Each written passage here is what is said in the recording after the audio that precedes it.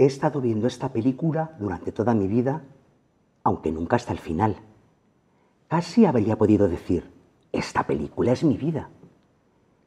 Su madre la llevó al cine por primera vez cuando ella tenía tres o cuatro años. Era su recuerdo más temprano. ¡Qué emocionante! Habían ido al teatro egipcio de Grauman, situado en Hollywood Boulevard. Aún faltaban años para que entendiera siquiera los rudimentos de una historia cinematográfica. Sin embargo, se quedó fascinada por el movimiento, el incesante, ondulante, fluido movimiento en la gran pantalla que se alzaba sobre ella. Todavía era incapaz de pensar, este es el mismísimo universo sobre el cual se proyectan innumerables e indescriptibles formas de vida. ¿Cuántas veces en su niñez y adolescencia perdidas volvería con añoranza a esta película, reconociéndola de inmediato a pesar de la diversidad de títulos y actores? Porque siempre aparecían la bella princesa y el príncipe encantado. Una sucesión de complicados acontecimientos los reunía, los separaba, los reunía otra vez y los separaba nuevamente hasta que cuando la película se acercaba a su fin y la música subía de volumen, se fundían en un apasionado abrazo. Aunque no siempre feliz, era imposible predecirlo, porque a veces uno de los dos aparecía arrodillado junto al lecho de muerte del otro y anunciaba el fin con un beso. Incluso si él o ella sobrevivía a su amado, uno sabía que su vida había perdido el sentido porque la vida no tiene ningún sentido fuera de la historia cinematográfica. Y no hay historia cinematográfica fuera del oscuro cine. Pero qué intrigante no ver nunca el final de la película. Sin embargo, incluso de adulta, siguió buscando esa película, entrando en cines de barrios oscuros o de ciudades desconocidas.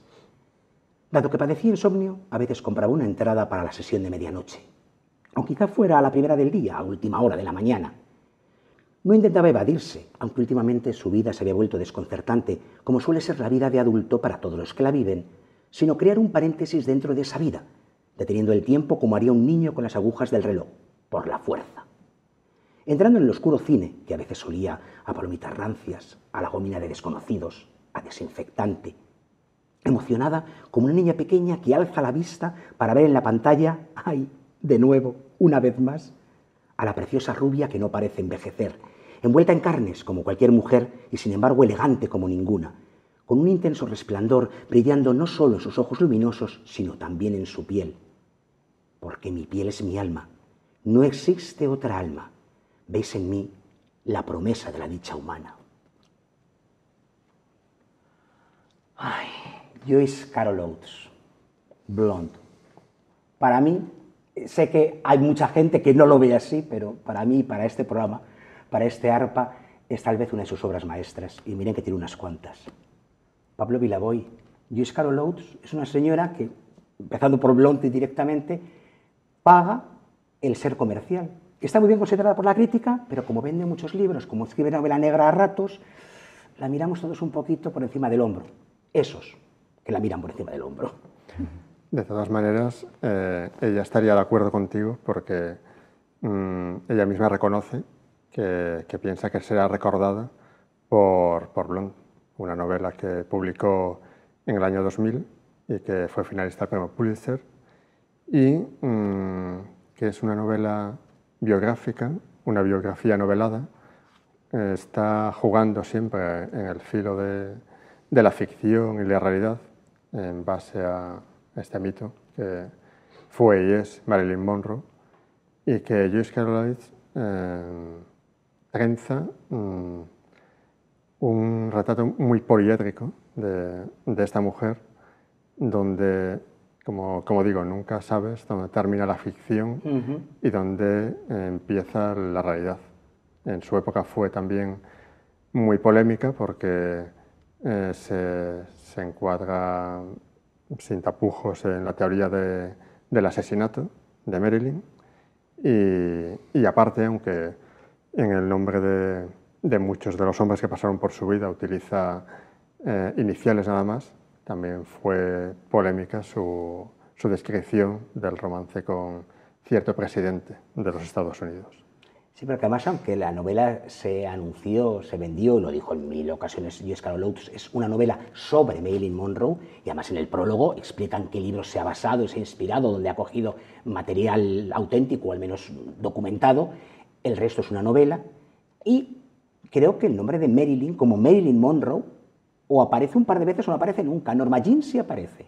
La real, la mujer. Norma Jean sí. Marilyn no. Exacto. Pero mm, sobrevuela siempre el, como digo, el mito y la realidad de, de esta rubia inmortal. Es que hoy vamos a hablar mucho de interpretación, ¿verdad? De interpretación, de mitos, de escenario, de foco. De talento. De talento, claro. Porque hoy tenemos uno de esos invitados que mm, es un poco complicado resumirle para presentarle en unas palabras o dos, como decíamos siempre en la facultad. Di que es impresentable y punto. y si se ofende, pues entonces ya luego explicamos por qué. Es un personaje poliédrico también. Alberto Vázquez, bienvenido a El Arpa de Becker. Bien hallado, encantadísimo de estar con vosotros dos y encantadísimo de estar en un programa donde se, se abre con esta figura, ¿no? con este mito tan impresionante, por lo menos para mí, eh, veo que también para vosotros, que es Marilyn Monroe, ¿no? una mujer única, una actriz única y que siempre estará ahí en el filo de, de la memoria y en el filo de, de, lo ético y lo estético y lo, lo, lo único. Yo creo que es, es, es, un personaje casi, casi único en el siglo, ¿no? y tela para decir eso. Alberto Vázquez es actor, Alberto Vázquez es actor completo porque canta y maravillosamente bien, si hay que bailar, baila, y lo hace muy bien, porque es el todo, y, y, has hecho drama, has hecho comedia, has hecho televisión, has hecho teatro, has hecho cine. Uh -huh. Escribo, dirijo, produzco. ¿Qué más, ¿Qué más quieres? Bueno, ¿Qué te falta? ¿Qué más me falta? Yo creo que, mm, fíjate, estoy en la etapa de disfrutar de dar un paseo y de, y de hacer fotos a una flor y, y estar con mi perrito en el sofá. Eh, pero aún así estoy haciendo muchas cosas ahora, ya, ya os contaré. No acabo de llegar de, de, Cantabria y me voy a Zaragoza y estoy que no sé ni dónde, dónde vivo. Estoy con la maleta sin deshacer desde hace casi un año. Quito pues, poco cosas, quito poco cosas. Pues cuéntame, cuéntanos dónde está ahora tu foco. Mi foco, foquísimo, está en, en una obra maravillosa que se llama Antoine, uh -huh. que es uh, Antoine Saint-Exupéry es una obra, eh, no es un musical, es una obra con canciones, eh, como bien dice Ignacio Vidal, su director, y Darío eh, Regatieri, su productor. Y bueno, lo que cuenta es la apasionante vida de Antoine Saint-Exupéry, que para mí era absolutamente desconocida y eh, la cuenta paralelamente a eh, lo que es su inmortal libro, ¿no? El Principito, ese libro que también es único, no se sabe muy bien por qué, pero que llega a todas las generaciones y va traspasando nos marca generaciones a todos. y nos marca a todos, lo entendamos o no lo entendamos. Y bueno, es, es muy apasionante ver en escena pues eh, descubrir la vida de este hombre que realmente es apasionante y murió jovencísimo y por otro lado eh, ver los momentos más maravillosos del libro y verlos paralelamente y qué inspiró uh, de esa parte en la otra y qué enseñó de esa otra parte en esta y verlo a la vez y ver cómo el Principito y Antoine se van desenvolviendo y creciendo juntos, todo eso con una banda sonora maravillosa compuesta por su arma y por el grupo Elefantes, realmente maravillosa y con unos compañeros fantásticos, con unas trayectorias todos increíbles y bueno, disfrutando muchísimo, muchísimo de este trayecto que lo ha tenido todo en contra desde que fue parido. eh, después de mucho tiempo de ensayo fue parido unas semanas antes del confinamiento, cuando íbamos eh, a entrar en Madrid en el Teatro Calderón por una larguísima temporada. Y bueno, se quedó todo ahí hasta que Darío estas navidades dijo, chicos, esto hay que moverlo, quien se apunta, quien no se apunta, nos vamos a encontrar con de todo con suspensiones, con aforos, con idas, con cierres, con vueltas. No contábamos con la Filomena, que también llegó. sí, es que pero, hemos ido encadenando una con oh, otra. ¿eh? Sí, sí. Pero aún así, pues fue muy bonito, fue muy bien. Estuvimos en, en el Teatro Alcázar primero y luego en el EDP Gran Vía. Uh -huh. Y fue muy bien. Y luego, pues bueno, eso le animó a hacer una gira pequeña que fue muy bien. Y ahora estamos con una gira grande que, que se extiende hasta ahora a Zaragoza y ya pararemos en verano y yo creo que ya con mucha más normalidad, crucemos todos todo lo que tengamos a mano, pues volveremos en otoño-invierno ya más tranquilos y más confiados. Pero está siendo una experiencia maravillosa, o sea, la gente sale fascinada. Y ocurre esta cosa, ¿no? Que la gente va con los niños pensando que va a haber un infantil, porque es el principito y el logo es el principito con un aviador y un, y un aeroplano y tal. Y claro, los niños no lo entienden, porque es, es, una historia para adultos, escrita para adultos, hecha por adultos, y sin embargo nos encontramos con la sorpresa de que los niños se quedan así durante dos horas, luego les preguntas qué han, qué han visto y solo pues, te hablan del principito, del zorro, del aviador, pero se quedan fascinados con la figura del principito, con, con ese planeta y con ese niño que habla tan raro, que habla como en poesía con este vestido, con esos vestidos tan originales y tan preciosos y entran en la historia, pero bueno, a tope, o sea... Es, Alberto, el poder de la palabra. El poder de la palabra. O sea, la, la palabra cautiva, la palabra hace soñar, y como dices, aunque no la comprendas o no la comprendas en su totalidad, porque no tienes la edad o no tienes las referencias, hay algo en el Principito, como cualquiera de los textos que tú has interpretado, que, Que llega, engancha, se que traslada. engancha. ¿no? Pero más allá del maravilloso texto que es El Principito, porque es que es, es filosofía humanista pura, yo creo que no tiene tiempo, no tiene tiempo, no tiene edad y creo que es un libro absolutamente inmortal. Es más, cuando lo hemos tenido que releer ahora, ya desde la madurez absoluta, eh, después de, de ver la obra y leer la obra y entender quién era este hombre, Antoine, y lo que hizo, y relees el libro y dices, uh, pero esto, es, esto son palabras mayores, ¿no? Y el personaje en sí, como era el personaje de Marilyn, ¿no? Más allá de, de tantas actrices rubias, guapísimas y sexys que hubo, De tanto estereotipo. ella era única, no sabes muy bien por qué. Y este dibujito, que es el principito, tiene vida propia. Tiene vida propia. Y nadie apostaba por él, ¿eh? Pero hay cosas que se imponen. La palabra, como decimos, la literatura se impone y resulta, Pablo, que Alberto Vázquez no ha venido solo, no con todo su bagaje artístico, que, que, es, que es mucho y vital, sino que ha traído... Pero hoy tienes tú más libros en la mesa que yo, que normalmente acumulo varios. Sí, y uno, tengo, y uno pero- grande, ¿eh? Te iba a decir, el tuyo es más grande, Sí, pero no, no, no. Bueno, ha traído su perfume. Sí, el perfume, qué maravilla, por Dios. Qué maravilla. Que es uno de los libros, dices, que, que te marcó. Sí, a mí me pasa una cosa con la literatura, voy a ser muy sincero. Eh, me cuesta leer, porque mi trabajo es leer. Claro. Entonces estoy eh, todo el tiempo o leyendo cosas que me ofrecen o buscando cosas que me gusten y sobre todo estudiando. Estudiando textos que tienes que aprenderte y luego soltarlos como si no los hubieras sabido nunca. ¿no? Entonces el trabajo de leer es un trabajo. Y pruebo a leer y, y el libro me tiene que enganchar. Pero cuando eso ocurre es, es milagroso. O sea, la, la semana, dos, tres semanas que paso eh, embebido en un libro es algo maravilloso.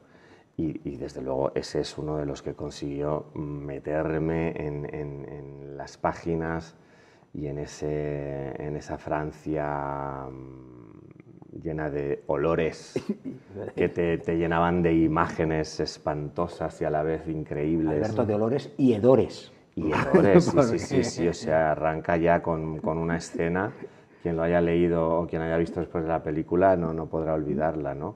Pero me fascinó la descripción que hacía de, de lo más bajo ¿no? y de lo más sutil después, a través de cómo, cómo huele el mundo, cómo huele el mundo, ¿no? Cómo, cómo huele, pues, eh, pasear por, por, por el, el retiro en primavera o pasear por Lavapiés o Malasaña un sábado de noche. Pues, esa es la vida. Y es lo, lo que me fascinó, aparte de cómo escribe este hombre, ¿no? de Patrick Suskin, que, bueno, en fin, te transporta, te transporta con cada, cada página, cada página. Sí, me fascinó el perfume. Es otro libro referente. Igual que el. Principito. Absolutamente, sí, sí, sí, sí.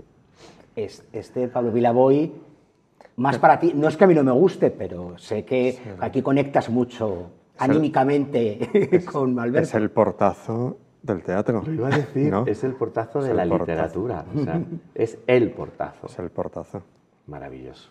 que te llama de casa de muñecas. Uf, primero, mira, eh, Ibsen, igual que Chekhov, eh, me parecen dos de los autores teatrales más maravillosos que ha habido.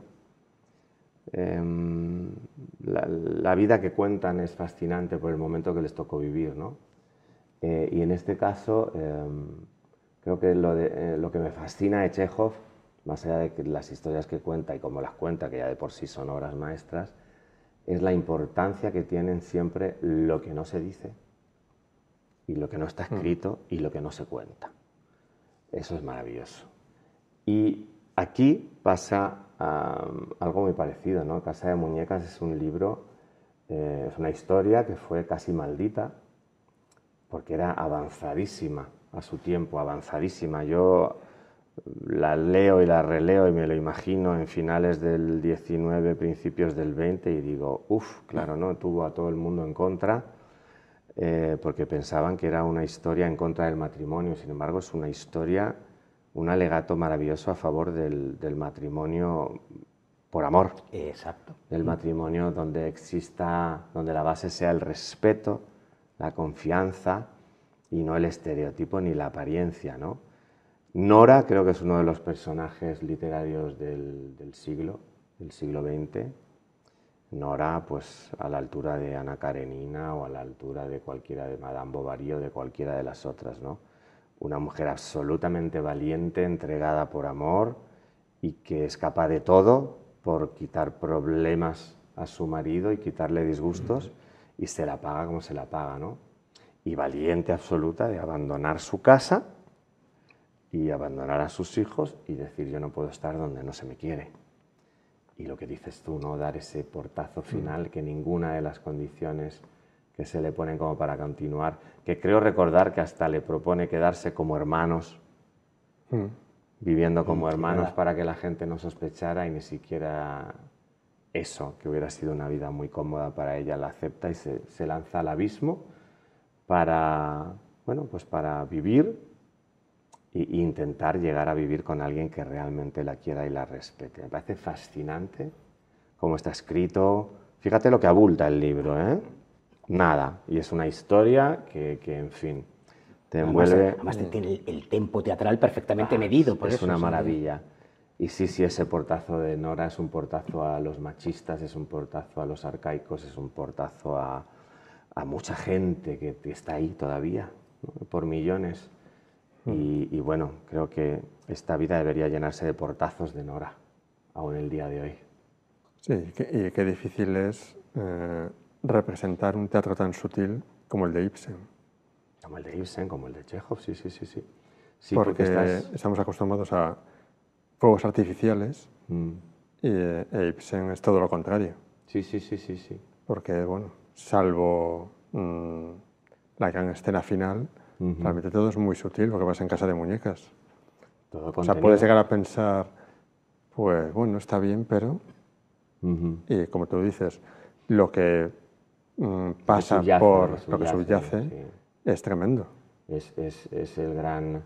Más allá del portazo del gran Sí, número sí, final, no, todo el tiempo, todo el mm, tiempo. todo el tiempo Eh, es... está entre soy una heroína o soy una hija de la gran, soy la mejor mujer del mundo o soy alguien a quien pueden colgar en la Plaza Mayor por y te tiene ahí todo el tiempo, ¿no? Y realmente quien se salva es ella, no sé si dignamente, pero decide salvarse. Y em, sí, es maravilloso. Es muy difícil de interpretar este tipo de obras porque estás en el límite constantemente. Y puedes pasar, pues lo que estábamos hablando, ¿no? de un lado al otro, em, muy, muy sutilmente. Y me parece mm, maravilloso. Siempre, siempre que se ponen en escena intento ir a verlas, tanto La Gaviota de Chekhov como Casa de Muñecas, porque son una maravillosas. Voy tomando posiciones porque, Ahora necesitas ayuda. porque fíjense lo que viene aquí. Una obra magna en todos los sentidos, pero es que una edición absolutamente maravillosa. Fascinante, con unas, bueno, unas litografías que traía incluidas, que las tengo, las tengo enmarcadas en, en la casa familiar. de- Ahora, ahora, ahora se irán viendo algunas de las en que la casa en familiar de Valladolid, porque me- me fascinaron. El Callejón de los Milagros. Mm. Callejón de los Milagros, ese Cairo de principios de siglo, que es em, sin la sutileza del perfume, pero que también está lleno de, de olores y de colores, pero sobre todo de vida. Em, yo creo que el Callejón de los Milagros es la colmena, la colmena de Cela, hecha en otro momento histórico, en otro lugar y por otro autor, que, pero para mí es la, la, colmena de, de, Egipto, del Cairo, de, esa de, ese tiempo. Y bueno, es maravilloso meterse en ese callejón enano, además atrapado ya por los edificios nuevos que empiezan a cerrarle y a quitarle esa magia de lo antiguo, que es lo que, lo que, lo que cuenta, ¿no? Ese cambio de época donde lo tradicional empieza a verse ya como, como enmohecido y como que tiene que quitarse y que cualquier cosa nueva eh, es mejor que la anterior. Y todo lo que se lleva por delante esa pseudo modernidad y cómo van muriendo estos personajes que, que, cada uno era una forma de vida y una forma de vincularse y que todos tenemos en la cabeza, no estos, ¿no? pero el, el que nos vendía las chuches, el, que nos, nos, cortaba el pelo, el señor que vendía los periódicos y se sentaba en la puerta, el borrachito que era amigo de todos, pues eso es el Callejón de los Milagros en el Cairo y claro, con una riqueza de un autor maravilloso, premio Nobel de por aquel entonces, eh, que coincidió con... De hecho yo creo que lo compré para leer algo de él. Para, para muchos, luego en España, para muchos, Naguib Mahfouz no era nadie, era absolutamente desconocido, hasta que el premio Nobel le coloca el disparadero y empieza a ganar adeptos y lectores porque no se puede ser de otro modo. Cuando entras en las páginas de él, ya no te quieres ir nunca. Sin duda, sin duda. Yo lo he leído para, para, para recordarlo ayer, antes de ayer, y ya estoy otra vez deseando ir entrando en tiendas y en el café de nuevo. Sí, sí. Se lo recomiendo a todo el mundo, ¿eh? de verdad. El Callejón de los Milagros. Y digo yo, ¿lo tuyo es puro teatro? Me temo que sí. Me temo que sí. Sí, puro teatro. ¿Qué, ah, qué? Puro, puro, teatro que no solo es el libro del que nos va a hablar porque lo recomienda como lector, sino también como autor. Sí. Lo que decías tú antes, Pablo, es que este señor, él sigue sacando de la chistera artística todo lo posible. Estoy fascinado, es, es, el tercer libro en el que colaboro. No me lo puedo creer, tengo en la biblioteca y tres, tres cositas donde está mi nombre y está ahí metido, ¿no? Y estoy escribiendo una cosa mía que espero tenerla terminada pronto. Bueno, no, no, no es un relato ni una novela, pero sí será, será un libro, será un libro. ¿Y cómo llegaste a, a puro teatro? Pandemia. Pandemia, eh, cultura inquieta, ¿no? Eh, esta época en la que todos nos hacíamos vídeos y hacíamos videollamadas y nos colgábamos en YouTube y hacíamos y tomábamos clases o charlas en directo para mantenernos vivos y, colgábamos lo que no habíamos colgado nunca para que la gente estuviera entretenida.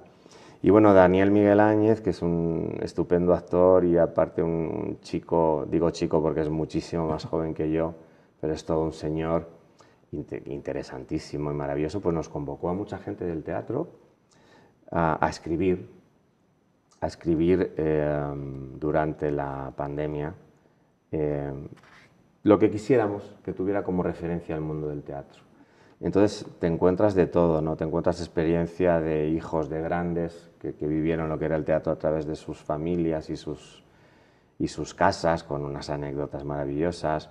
Te encuentras pues a directores, autores y dramaturgos hablando del teatro en sí. Te encuentras a pensadores hablando de, la magia del teatro y de lo que significa en la sociedad. Te encuentras a otros que nos hemos arriesgado eh, haciendo ficción con historias que tienen como fondo el teatro, ¿no? que es mi caso, que me he lanzado a hacer una ficción y estoy muy contento. Es un, es un relato corto, es un, eh, no, no, he llegado a leérmelo, entonces no sé cuántas páginas ocupa todavía, Vamos a porque voy religiosamente... Por el orden en el que están Absolutamente. Entonces no sé cuántas páginas ocupa, pero estoy muy contento de estar ahí, de la idea, porque los que amamos el teatro de repente nos embullimos ahí en, en, pues muy poquitas, son poquitas, tantas como seis. es un cuento, es un cuento. Mm. Sí, es un cuento. ¿Y cómo nació de ti hacer ficción y no recuerdos o experiencias que hayas tenido en escena? Pues es, es medio medio. Estábamos haciendo una película, íbamos a hacer una película y se hizo, em, que transcurría en un teatro, toda, ¿no? En el Teatro Flumen de Valencia, que lo teníamos cerrado para nosotros y nos permitieron durante 15 días llevar las cámaras, el equipo artístico eh, y, em, y era una idea que estaba ahí ya en la cabeza, el guion estaba escrito, la base del guion, pero se nos iba a permitir hacer mucho work in progress en el rodaje. Y eso es un work in progress mío, personal, que al final llegó a ser medio película, medio no, muchas cosas quedaron fuera, muchas cosas eh, ni siquiera eh, se hicieron, pero de otra manera. Y, pero lo que fue la imaginación que a mí me despertó esa idea inicial para hacer luego en el, como película que se va a llamar Versus y se rodó íntegramente en el Flumen de Valencia con José Saiz, su director artístico, eh, y con Daniel Cabrero a, a, la, a la dirección. Por cierto que es un trabajo maravilloso lo que han hecho, creo, lo que hemos hecho ha sido una entrega absoluta. Y bueno, y de ahí surgió ese cuentito. Pero bueno, ahí están Juan Carlos Rubio, ahí está Ignacio Amestoy, ahí está Eva Chico, están muchísima gente importantísima, Ernesto Caballero, mucha gente. Y, y feliz de estar ahí entre todos ellos, ¿no? Compañeros de profesión también. Yo creo, eh, Pablo Vilavoy, que Alberto Vázquez merece un segundo y hasta un tercer programa, porque nos hemos quedado casi en el prólogo. ¿Sí? Pues nada, volverás. Cuando queráis, yo encantado, encantado de hablar con vosotros, de veros y de, de contar cosas a la gente, porque al final estamos aquí para eso, ¿no? Para contar cosas a la gente eh, e intentar que, que con lo que contamos o con lo que hacemos seamos todos un poquito mejores y dejemos un mundo mejor que el que nos hemos encontrado, por favor. Pues gracias, Alberto Vázquez, por hacer sonar este arpa Qué con nosotros. Qué bonito. Y ya saben ustedes que ahora nos llevamos el arpa al ángulo oscuro del salón, pero lo iluminaremos con libros como puro teatro y dentro de muy poco se lo contaremos. Gracias.